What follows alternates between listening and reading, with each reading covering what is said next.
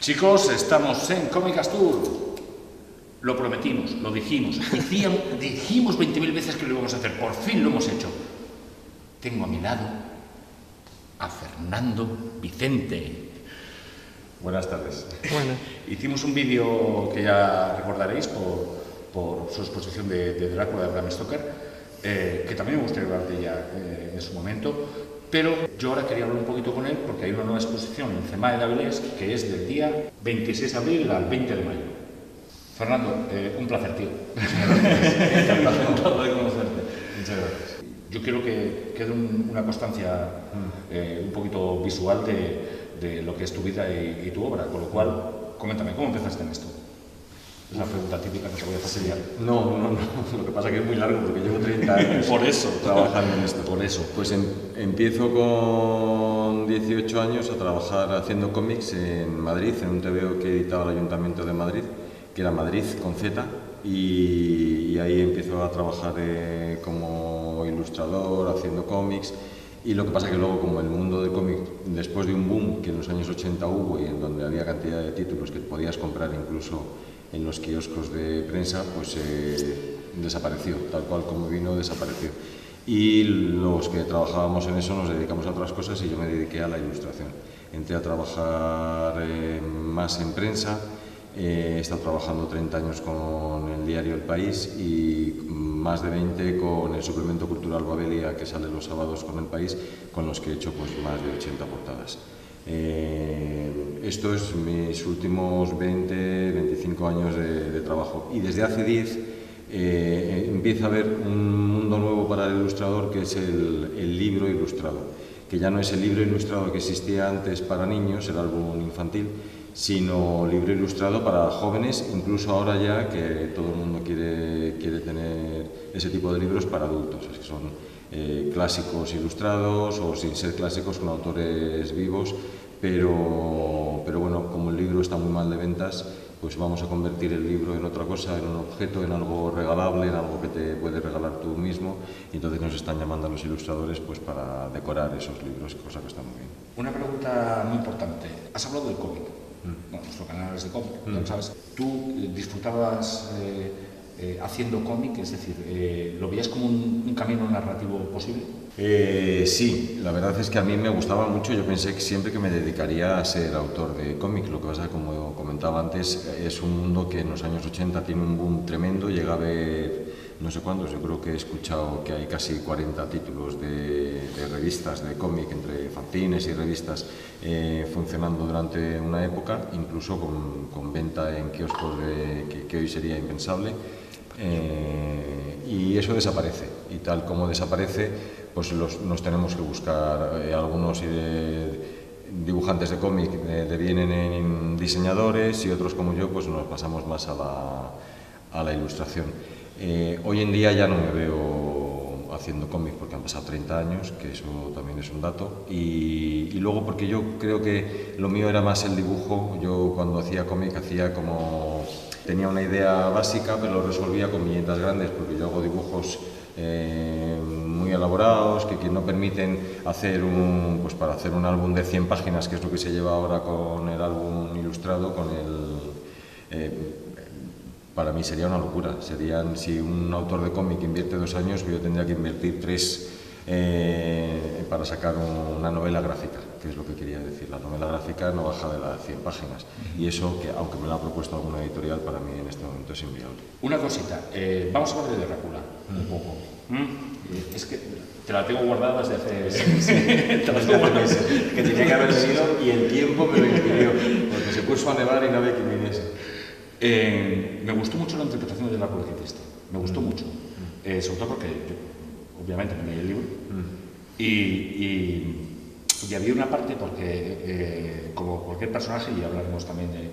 eh, puedes estar intoxicado por, por, por, eh, referencias visuales que no son tuyas. Y que hay muchas. ¿Mm? Me gustó esa interpretación de Drácula. O sea, fue bastante literal. Y yo creo que me cuentes un poquito eso. Eh, ¿Cómo hiciste eh, para realizar la obra de, de- de Drácula? E- encima, las escenas que cogiste, o sea... Bueno, realmente el libro, que era un libro que no estaba ilustrado porque es una novela de 400 páginas y para un editor es muy complicado sacarla además ilustrada, que tienes que pagar al ilustrador, que con esas ilustraciones se van a ir a 400 y pico páginas. Eh, bueno, pues era una novela que no estaba ilustrada. Y si partes del texto original, que es de lo que partí yo, pues eh, es más fácil, porque las películas en realidad tienen que ver con la novela pero no tienen tanto que ver con la novela original, es como una versión, digamos. Y entonces sí lo que sí tienes que hacer es un esfuerzo por no ver esas películas o por eh, huir de la imagen de Bela Lugosi, de, de las de Terence Fisher. yo, son, yo incluso te iba a preguntar ya por Coppola. Que son iconos. Y la de Coppola sí la revisé y me llevé una gran decepción, porque yo la vi en el estreno en los años 80 y me entusiasmó. Como le pasa a todos. Yo creo que es una película que triunfó en su día, pero ha envejecido fatal fatal. Y es la película más cercana al texto, la que está más con los pies en el texto. Eh, para mí, vamos, no solo con eso, sino con, con, todos los libros ilustrados que he hecho, trato de huir de las imágenes que ya están, las clásicas, que todo el mundo ya conoce, porque para hacer lo mismo que ya está hecho, pues no merece mucho la pena. Y en el caso de Drácula, pues lo que fui es leyendo la novela, que es una novela extraordinaria, extraordinaria, que yo recomiendo a todo el mundo, eh, y marcando qué, imágenes siempre cuando ilustras un libro y sobre todo un libro tan voluminoso, lo que tratas es de que haya un ritmo con las ilustraciones. Lógicamente, si ves las ilustraciones solas, no se puede contar el libro. O sea, no cuentan todo lo que hay en el libro porque podrías ilustrar, pues imagínate, en 400 páginas. Es el libro que más profusamente he ilustrado. Creo que hay casi 60 ilustraciones. Eh, pero con todo y con eso pues se quedaría corto. Pero que sí que entre ilustración e ilustración primero haya un tempo, o sea que no haya una y en la página siguiente haya otra y luego 10 páginas sin ilustrar, que eso también a veces, porque Drácula ilustrarías cada capítulo y de cada capítulo tres ilustraciones, porque es maravilloso. Entonces tienes que medirte e ir haciendo un guion para ver por dónde ilustras y que eso tenga una cadencia y un, y un ritmo. Bien, ahora has vuelto a Vilés, eh, coméntame un poco, Estamos hablando de clásicos ilustrados. ¿De ¿Cómo surge? Esto surge, el primer clásico que ilustro es Peter Pan, hace ya 10 años, y desde entonces, eh, primero con pequeñas editoriales que pueden ser Nórdica Libros, El Zorro Rojo, Impedimenta, eh, eh, son editoriales que empiezan a hacer el libro ilustrado para adultos. hasta ahora el libro ilustrado siempre era el álbum infantil ilustrado, luego de ahí no se salía pero, pero desde estos años, eh, hace 10 más o menos, se empieza a hacer libro ilustrado para adulto y cada vez tiene, va cogiendo más auge y cada vez hay más eh, editoriales que quieren tener su participación en este tema. Como los libros cada vez se venden peor, pues al hacer un libro ilustrado de repente la cosa la conviertes, hay más público, lo conviertes en un objeto que te regalas, que puedes regalar, en fin, es una cosa que es algo distinto. Y a los ilustradores, pues lógicamente nos ha venido muy bien. Esta exposición, yo tengo 35 más o menos, creo, como unos 35 libros ilustrados. Estos son como unos 15 que son los que son clásicos. Como clásicos nos estamos refiriendo pues, a Alicia a través del espejo, a Peter Pan, a Momo, a Mansfield Park, a títulos que son clásicos, no títulos de autores vivos o, o bueno, otros títulos que no son de referencia. Y el tema este le pasa un poco como comentábamos antes con, con, Drácula, pues que muchos de ellos ya tienen muchas versiones cinematográficas, de cómic, y entonces lo que pasa es que a un ilustrador, o a mí por lo menos, siempre que te encargan un trabajo así, pues te apetece mucho encarle el diente. O sea, decir Sherlock Holmes, pues cómo no voy a ilustrar a Sherlock Holmes. Eh, que ya está hecho.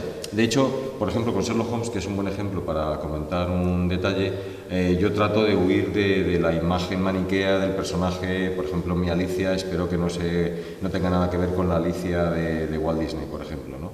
Eh, pero Sherlock Holmes, por ejemplo, que en los libros, que de hecho es el primer libro el que yo ilustro, eh, Estudio en Escarlata de Conan Doyle, eh, no lo describe nunca tal y como conocemos a Sherlock Holmes. Es una imagen del cine y de la televisión. Pero claro, si a Sherlock Holmes le quitas la levita y el gorro de cazador, es que deja de ser Sherlock Holmes, porque ya todos tenemos esa imagen. Entonces, eso fue una decisión que tuve que tomar. ¿Qué hago? ¿Hago un Sherlock Holmes como he hecho con Drácula a mi modo, por ejemplo, y tal? Pero me, me, daba como pena, me parecía como que estaba quitando algo que se ha Estás constituyendo un poquito tu propia... El, personaje y mi, mi idea del, del, personaje. Y al final, bueno, pues he hecho una cosa en mi estilo, pero, pero que sí recuerda lógicamente a ese personaje clásico. ¿Y, y a Watson entonces cómo te lo tomaste? Pues a Watson sí le describe algo, porque le describe como fornido y apuesto. Con fornido no sabes muy bien a qué se está refiriendo porque puede ser más bien entrado en carnes o, fuerte. Eh, viene herido de la guerra de Afganistán, eh, tiene una ligera cojera y tiene bigote. Entonces yo creo que con eso todo el mundo ha jugado un poco y la imagen de Watson que hemos ido viendo es un poco más bien tirando a gordito, más que musculado y pero que, se repite mucho, porque sí Sherlock Holmes sí he, revisado pues, en internet eh, qué películas había, cosas antiguas, a ver, para hacerme una idea más o menos, y con, con Watson sí se repite bastante, igual que con Sherlock, esa cara afilada, esa barbilla prominente, esa nariz aguileña. Peter Cushing. Exactamente, ese tipo de, perfil que además Peter Cushing es, Sherlock Holmes, es el Sherlock Holmes perfecto. Pues con Watson ocurre un poco que a lo largo de los años y de las interpretaciones diversas, siempre, sin que haya una descripción exacta de él, siempre también le, pintan más o menos igual. Yo no le he puesto muy gordo de todas formas, creo. no, no, creo, en absoluto. De obras clásicas de las que hay, siempre hay algo que, con lo que te gustaría quedarte. Mm. ahora mismo, de todo lo que hay aquí, quiero que elijas un cuadro, un cuadro, uno. No nos vamos a ir muy lejos. Eh, me, gustan otros quizá incluso más, pero este, por ejemplo, eh, yo vengo de trabajar eh, muchos años, 30 años con el país, como decía, con el suplemento cultural Babelia, 20 años, y en prensa siempre utilizo, en prensa tienes muy poco espacio donde contar cosas, es una viñeta pequeña que te, que te dan un huequito, una ventana. Entonces, generalmente en prensa se usa mucho, yo uso mucho metáforas visuales, que es una poesía visual que te permite con una imagen contar otras cosas distintas a las que estás viendo. ¿no? Entonces, por ejemplo, este libro es Mansfield Park de Jane Austen, que es una novela romántica también de 300 y pico páginas, muy bonita, eh, pero en la que no ocurren muchas cosas. Es una novela clásica de gente con mucho dinero que tiene una casa señorial en el campo y hay amores y desamores, pero no ocurre realmente una acción que digas eh, y, a mí me gustaba, porque además tuve mucho tiempo para, para, leerlo, para ilustrarlo, había presupuesto, era un buen libro de, de círculo de lectores y prácticamente cada ilustración es una metáfora visual de, de, algo que está ocurriendo, no exactamente literalmente lo que está poniendo en el texto, sino una interpretación mía de cómo se siente el personaje, de cómo es el ambiente que le rodea, etc.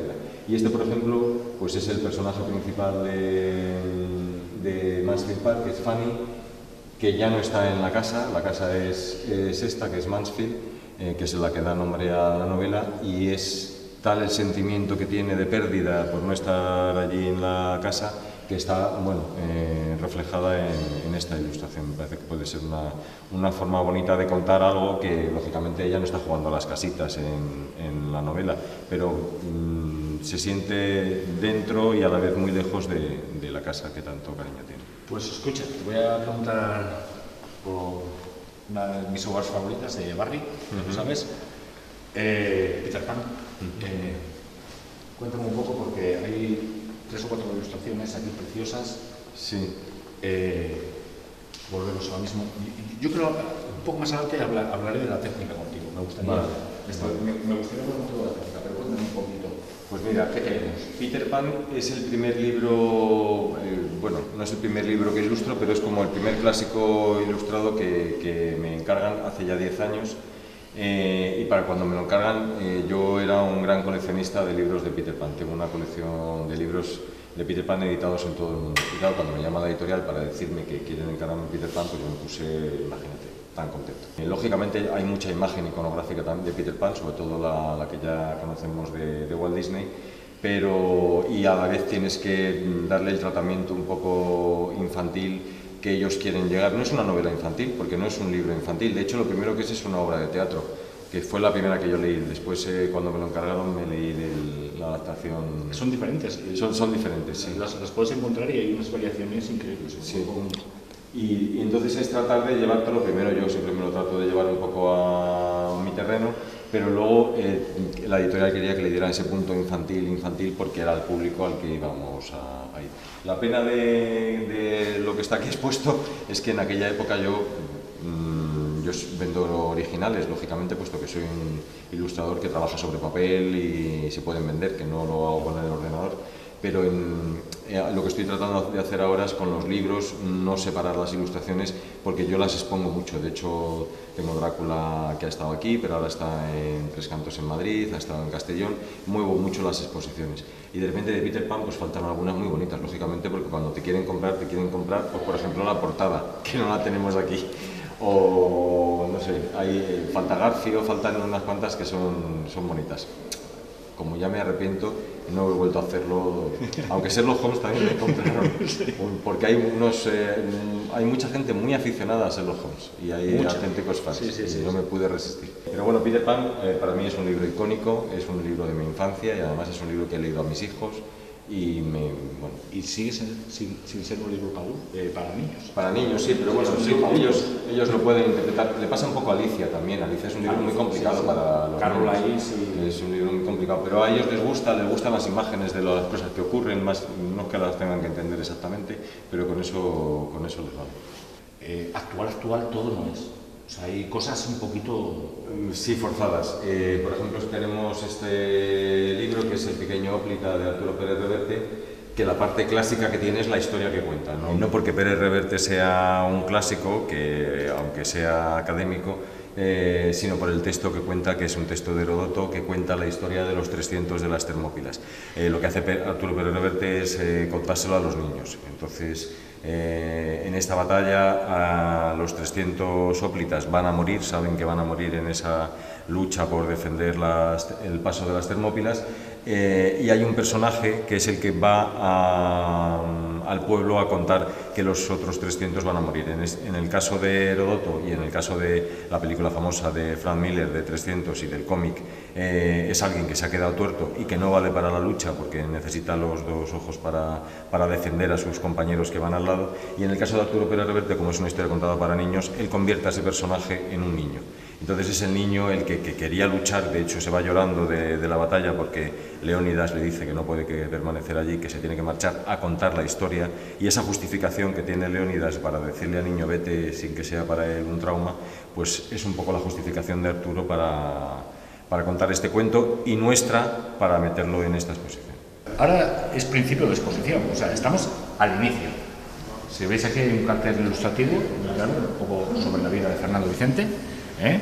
que ya nos ha contado él, con lo cual no vamos a leerlo. Y lo que nos importa es que nos hables de cómo empieza la obra, cómo se recorre, sobre todo esta parte de, que me gusta mucho, a mí me ha encantado, fue lo primero, es muy visual según entras, mm. según entras en, el pasillo, a mí lo que más me gustó fue mm. Alicia, impactante. Sí. sí, yo creo que lo han elegido, o sea, no está hecha cronológicamente la exposición, digamos, sino un poco pues, pues, por eso, por ese primer bocado para que la gente entre hasta el fondo, ¿no? Yo creo que ha sido un poco esa la idea. Pues esta, esta, este encargo de Alicia, otro clásico que es una pena porque no es Alicia en el País de las Maravillas, que es el primer libro de, de Barry, digo de Barry, de, de Carlos, sino el segundo, que es Alicia a través del espejo. A mí me encarga una editorial para el Museo ABC en el aniversario del libro, eh, un dibujo y soy uno más de los ilustradores que hacen una Alicia para esta exposición, que es una exposición, digamos, que hace el Museo ABC con alicias de, un montón de ilustradores. Y sin decirme nada, eh, resulta que cogen la mía como imagen de la, de la, exposición. Que yo cuando me llegó la invitación dije, ah, qué simpáticos, han cogido de cada uno la suya para mandarle la invitación, pero no, habían usado mi imagen. Y es a raíz de esa primera imagen que yo hago, que es esta, eh, que es finalmente la portada, cuando me, me encarga una editorial que, que ilustre el libro. Y bueno, pues es un libro maravilloso, entonces eh, yo lo cogí con muchas ganas el trabajo y para mí es uno de los mejores libros que, he ilustrado también. Hay dos ilustraciones que las haces apaisadas. Las hago apaisadas porque son dobles páginas. Lógicamente no puedo hacerlas como, eh, como aquellas que son más pequeñas y necesito tener más tamaño. Yo siempre trabajo sobre papel en 50 por 70 y las eh, páginas verticales cuando son sencillas es la mitad que son 50 por 35. Y esta imagen, por ejemplo, es maravillosa, que es una imagen que sale incluso en la película de Walt Disney, aunque pertenece al segundo libro, que es cuando se encuentra con el Jardín de las Flores Vivas y habla con las flores. Eh, a las flores siempre se las ha representado porque además en el texto lo son muy gruñonas, están ahí siempre como discutiendo y están ahí como un corrillo de viejas Eh, lo que pasa es que yo creo que las flores tienen que ser maravillosas y mi, mi versión, digamos, mi visión ha sido pues pintarlas eh, vestidas de Dior tomando el té de las 5. ¿no? Están en Inglaterra y están haciendo un corrillo de señoras también muy repipis y muy encorsetadas, pero de otra manera. De hecho, no le hacen mucho caso a Alicia cuando va a preguntarles. Como le ocurre con todos los personajes con los que se encuentra, que todos la toman el pelo, como estos dos, o, la regañan. De hecho, yo he tratado que se viese a través del libro que casi todos los personajes la levantan el dedo, cuando la están como regañando. La reina roja, estos dos locos, el, huevo, la, rana, en fin, todos están un poco, aunque se repite, y mucha gente no se da cuenta de ese detalle, pero cada dos o tres páginas ves que alguien la está... porque es lo que le pasa a la pobre en el libro.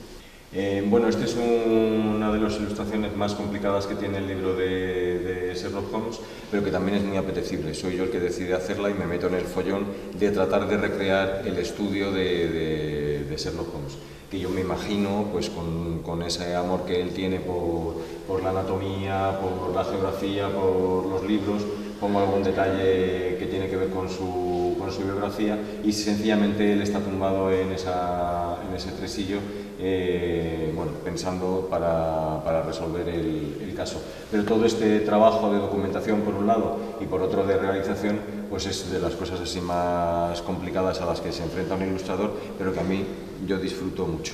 A mí me gusta mucho esta ilustración porque has dicho una frase que me ha gustado mucho.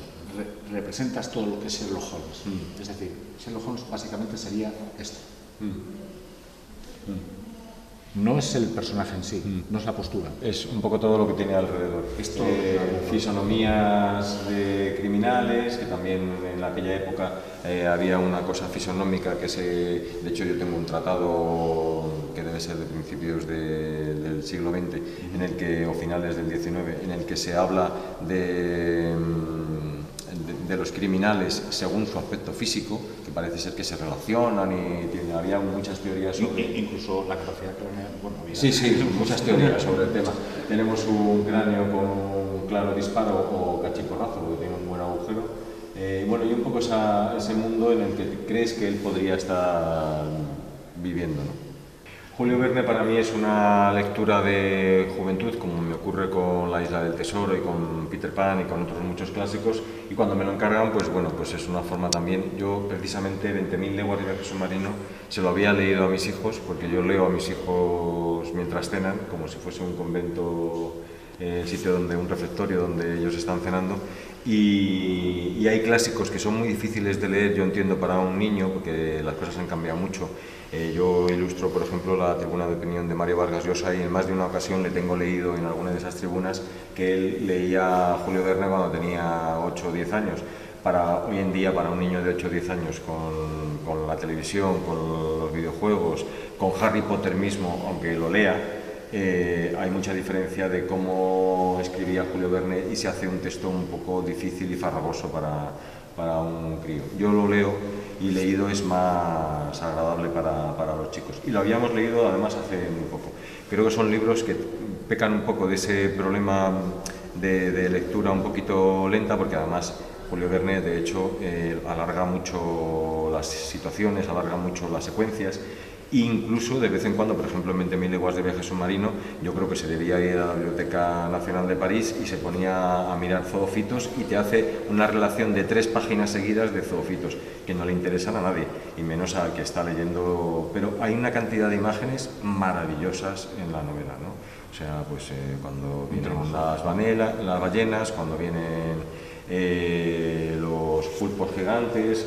Un calamar agarrando un hay imágenes maravillosas. Y a mí pues también me parece una propuesta, he tratado de llevarlo a ese mundo un poco decimonónico, eh, medio de retrato oval, de, ojo de buey también del propio submarino. El submarino lo he convertido en una ballena que yo creo que no estaba hecho, que mm, me parece que ya es muy difícil salirse y buscar imágenes que no estén demasiado hechas. Eh, y bueno, y un poco estos son los retratos de los personajes. Aronnax, el, el ballenero canadiense, el capitán Nemo, eh, son como un poco un retrato de cada uno de los personajes principales de, la novela. Este es el hombre que pudo reinar de Kipling, que es un cuentito maravilloso, que además también es una película maravillosa, con Sean Connery, con Michael Caine, haciendo unos personajes que yo recomiendo y se la he puesto a mis críos, por ejemplo, y les ha encantado. Es una película de aventuras clásica, maravillosa. Pero el texto también es estupendo.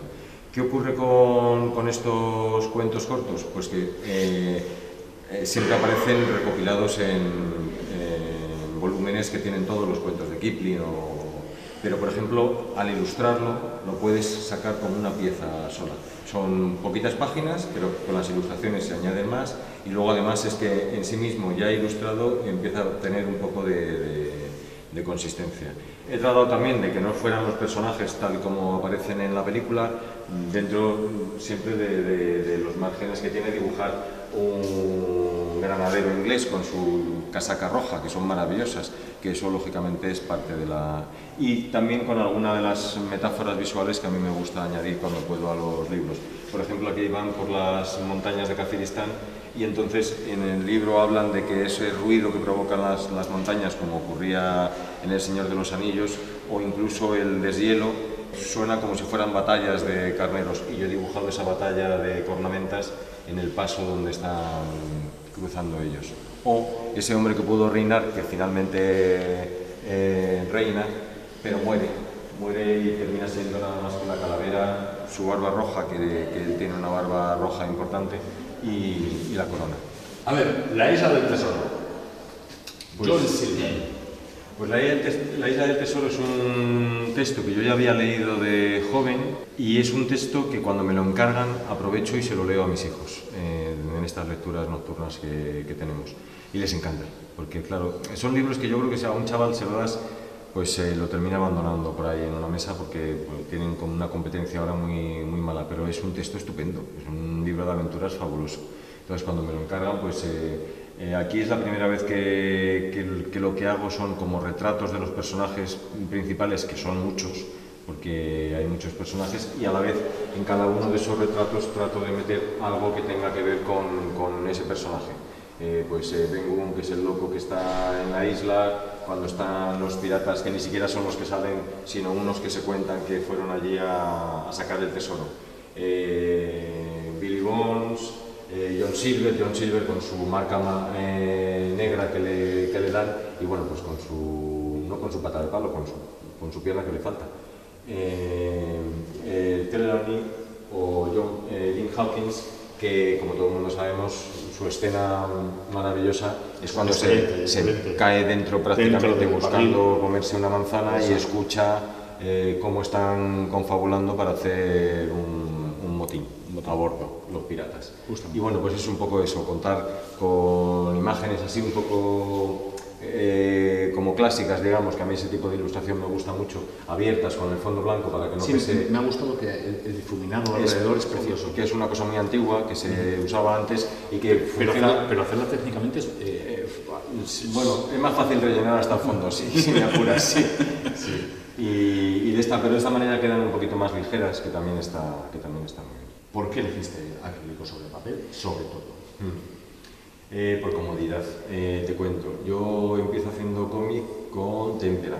La témpera es muy cercana al acrílico. Muy cercana, eh, sí. Entonces eh, yo llevo, además de mi carrera como ilustrador, por llamarla de alguna manera, eh, tengo una carrera paralela como pintor. Eh, yo llevo exponiendo también 20 o 30 años en galerías y lo que hago es que cambio el papel por un lienzo y con la misma pintura y el mismo carrito donde tengo mis botes de acrílico puedo pintar, puedo resolver una ilustración o puedo resolver un cuadro, exactamente igual. Entonces, bueno, el acrílico es maravilloso porque es muy limpio, no huele, eh, se limpia debajo del grifo y con agua funciona fenomenal sobre papel y funciona fenomenal sobre fácil de mezclar sobre lienzo, sobre tabla, sobre lo que lo quieras pintar. Y entonces a mí me ha sido muy cómodo y lo que pasa es que como llevo 30 años eh, trabajando sobre, con acrílico, pues lo tengo ya muy dominado. De hecho, yo no cambio ya ni de técnica ni de papel siquiera, porque ya te acostumbras a una cosa y prácticamente casi toda la exposición está hecha sobre el mismo tipo de papel que llevo comprando también 30 años. Como escuché una vez a un viejo ilustrador italiano, el día que desaparezca el papel sobre el que trabajo, dejaré de trabajar. Bueno, en mi caso no será así, espero que no desaparezca. Eh, porque yo veo eh, restos de lápiz de, de grafito, de tal, claro, tú, tú, lo ves representado de una forma. ¿También le metes tinta negra a un acrílico? No. No, tinta no, no lo mezclo porque el, el, negro de acrílico es maravilloso. Eh, yo creo que con, de hecho con el negro resuelvo muchas veces la línea, pues como si fuese tinta, pero lo que pasa es que en vez de ser tinta eh, es acrílico, no tiene mayor importancia. Y sí, sí quedan restos, incluso muchas veces termino para una cosa perfilarla con el mismo lápiz. Pero es que a mí me gusta. Pues, rematándolo. ¿Sabes qué ocurre? Que yo trabajo en formatos muy grandes, pues trabajo en caballete. Soy un ilustrador raro porque generalmente mis compañeros de profesión y amigos eh, casi todos trabajan en tablero eh, y yo trabajo en caballete de pie. Y tengo una tabla muy grande donde pongo los, los, papeles y puedo trabajar con varios a la vez. Generalmente lo que hago es que un libro trato de dividirlo en escenas y trabajo toda la escena a la vez, que eso me permite estar trabajando con uno y pensándome en los demás, viéndolos todos en conjunto, incluso usar el mismo marrón aquí, aquí, aquí y allí, para ir un poquito más rápido. O sea, son ventajas que, que, tiene. Y lo que ocurre con esas líneas que tú dices de lápiz y ese tipo de cosas es que al estar trabajando las en grande, cuando están reducidas en la ilustración ni se ven. Son un apoyo. Yo las disfruto. Pero, pero se ven en los originales. Sí, y precisamente eso que te voy a decir, que se disfruta viendo el original. Es cuando dices tú, esta es la pequeña diferencia que Sí, sí, es la diferencia con respecto a haberlo reproducido. Nunca es lo mismo, por muy bien que estén hechas las reproducciones, ver un original es una alegría. A mí, por lo menos de la gente que me gusta su trabajo, de hecho yo viajo si, si hay exposiciones por ahí de gente que me gusta. He estado este año, por ejemplo, en Turín viendo una exposición de un ilustrador italiano que se llama Pinter, que me fascina y que había, me enteré que había una exposición con 150 originales y para allí que me fui. Y lo disfruté, que no sabes cómo. Ya tenía libros de él, pero lógicamente el poder ver los originales que están hechos con témpera, además maravillosamente, pues es una alegría. Y una cosa, es un, una curiosidad personal. ¿Cómo te arreglas para hacer eh, los puntos de fuga? Es, ¿Lo haces por intuición? ¿Lo haces por... Eh, coges una regla y dices... Por, por, por, intuición porque no hay muchos puntos de fuga en mi trabajo. O sea, ya, realmente yo lo que... ¿Pero hago hago de vez en cuando? No, no, muy poquito. No hay. aquí. Aquí no hay, las que se van para arriba, que seguramente si lo sigues con una regla no, no llegarían a, esta escalera no llegaría a terminar en, el punto donde tendrían que unir, porque como solamente son cuatro rayas, pues no, no, no, le doy mucha importancia a eso. Tiene que visualmente funcionar. Si funciona visualmente, esas cuatro rayas que yo me hago a lápiz, yo para hacer un boceto, el primer boceto es un garabato, un garabato que no me gusta enseñar porque además son garabatos, garabatos. A mí me valen para pasar al papel después y en ese papel yo ya lo trabajo más y, y son cosas en las que no me fijo.